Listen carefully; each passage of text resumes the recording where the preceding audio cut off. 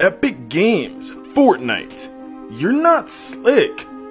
I'm on to you. Now, if you've been playing Chapter 4 Season 3, you're probably wondering where we are at in the Fortnite story.